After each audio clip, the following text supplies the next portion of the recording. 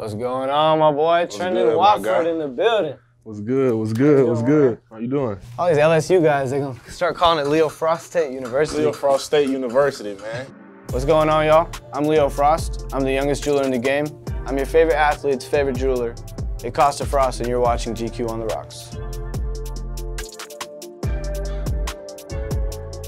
You know, by the grace of God, I'm so blessed. I got so many guys who are catching touchdowns wearing chains. Uh, I got Trey Lance throwing touchdowns wearing chains. You watch the game, you watch the game with your family, your friends, and someone's like, hey, you know, that guy's wearing jewelry.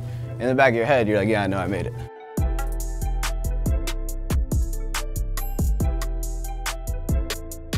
Chillin', bro. I'm just at uh, GQ on the rocks. Got this right here. You heard? You already know. Yes, sir. So Justin Jefferson called me when he was about to go to the draft, and he was like, "Hey, bro, I need I need a jet piece." So we went through a couple designs at first. At Frost & Co, we hand draw all our designs. It's a really unique process about going through like maybe five, six, seven designs, and eventually we came to an idea where why don't we make an infinity Cuban link? We'll put stars going through it. We'll make it two-tone, rose and white gold, and we'll make the jet white gold. It'll make it really pop. And this is all actually one piece. It's not detachable. Costs a hundred thousand. Justin Jefferson's the kind of guy where he's not gonna buy a lot of jewelry. He wants a nice piece that he can have for a very long time. See, y'all, this controller chain, definitely, definitely one of the longest projects I've ever worked on. This piece took about two months to make, over 300 grams of gold, 80 carats of diamonds. This is a heavy hitter. When I met Pat, his nickname was Pat Surtain's. The second I saw in his bio, it said PS2. For the draft night, we were like, yo, let's make a PS2 controller. These analog sticks actually move. The buttons are really cool because this thing lights up. This is what people would call a piece that just has no budget. Uh, this piece overall was 150,000. Azeez Ojulari's piece, he plays for the New York Giants. He wanted a piece that could really reflect who he is, who he would want to be. People don't really do black diamonds. It's not something that people are getting every day. And it's the Black Panther, so you have to do it in black diamonds. Uh, we've got the white diamonds going through the piece, and we added a black Cuban link around it. It comes with a bracelet set right here too. And this piece actually glows in the dark. If you turn the lights off, this thing will glow. This Jesus piece was made for my man Tristan Thompson. He hit me up and he was like, hey Leo, I want a black Jesus. Show me what you can do. I made the rosary links right here. They've got barrel links on the chain actually. Each one of these spears right here weighs about like 15 grams. This uh, chain itself weighs 200 grams. It's got over 50 carats of diamonds. This piece cost 92,000. We added green links on the sides. He plays with the Celtics. Uh, we thought it would be a cool theme. If he goes to a different team, we'll probably change the color. Tristan lets me work with bigger budgets. He lets me show the world what I can do. Thank you, Tristan. This right here, Jaylen Waddle, if you're watching this, you're my dog. Jaylen Waddle is from Alief. Alief is a big part of Houston's culture. Alief is where the most NFL guys in the entire country come from. So we put in the middle of this A right here, we put the apple for Alief from where he's from, and we spelled out Waddle. But the different thing about this is a lot of people, what they do, they'll have the double plate like this, but all the diamonds would be the same size. Jaylen Waddle is a little different, so we have to put a little more respect on his name. And we put 10 pointers on all the letters. So he's got big stones going across the letters, and he's got this J up here.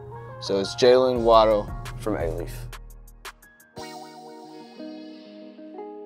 This is called a glass house. This piece is for Markelle Fultz, NBA player. Right here, these are all emerald cuts on the piece. Uh, they go all the way around. And then on the sides, we put round diamonds. We've got a very, very clean, sharp look for Markelle. He's got his logo, the M and the F. Emerald cuts are harder to set, but if you do them right, you do them with me, it makes sense. When you have an operation this big, you're not setting all the diamonds yourself. You have diamond setters. I've got some of the best diamond setters in the world. If you look at my pieces, you'll never find any bumps. You'll never find any cracks. It's set really tight. And the tighter the setting, the better the piece, the better the quality. You're paying for what you get. Right here, my main man, Ja'Marr Chase. This is a FTF pendant. He likes to have this unique baguette look, so we put baguettes all the way around it. Round diamonds in the middle, highlighted the FTF in the middle. Right here, uh, I made a piece for uh, Patrick Queen.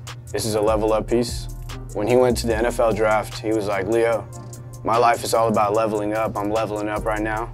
I need a cool chain. I made this one right here for Andrew Thomas. Uh, it's a grizzly bear. Andrew Thomas is big on that. He feels like he's fierce, so he gets a grizzly bear. This right here is for Javon Kinlaw. He doesn't like having big flashy jewelry.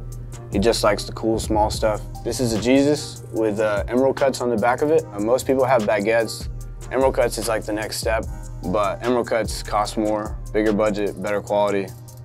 If you got the money, it costs a frost. What a lot of jewelers won't do is they won't show you their work unfinished.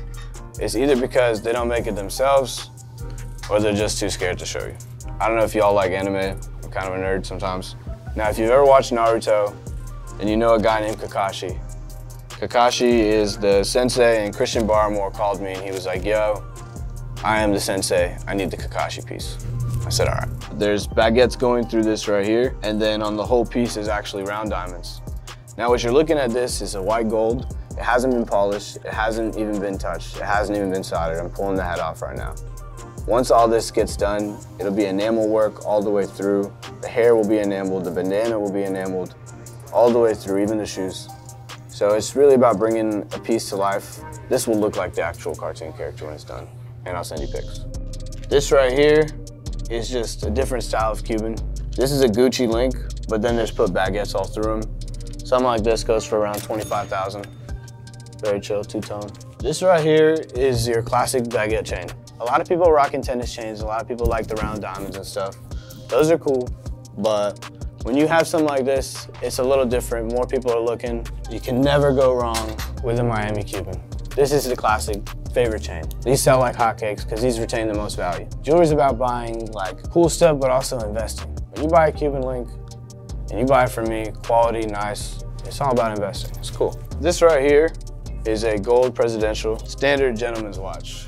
If you got a meeting going on, you're about to go into a boxing ring and you got media day before, this is the kind of watch you want. Right here, I've got the Cartier Santos. It's a two-tone with the big boy bezel, and it's made with an Arabic dial. It's got all sexy stones in it, very clean. I love this watch. It's probably the hottest selling watch of 2020, 2021. I'm just gonna wear this for the rest of the show. I've got another Cartier Santos, Arabic dial. This is for my boy Isaiah Stewart from the Detroit Pistons. He's coming to pick this watch up this weekend. Something like this goes for 23,000. And this right here is your starter kit. Obviously, it's a Rolex Datejust. Everyone in the game, when they get some money, it becomes, you know, let's start off with a Rolex Datejust. And something like this, you start at 24,000. Real chill. There's a strong misconception that athletes don't know how to spend their money. They're just buying all this stupid stuff. When you come from where most of these athletes come from, they don't have a lot growing up. This right here is a, is a trophy. It, it shows you and symbolizes like, look, I've made it, why can I not buy something like this? It's all about being the best version of yourself and being happy, and that's how you ball out, on and off the field. Shout out GQ, appreciate y'all stopping by. Thank you for diving into my world. I feel humbled to be part of this, and um, thank you for highlighting my life.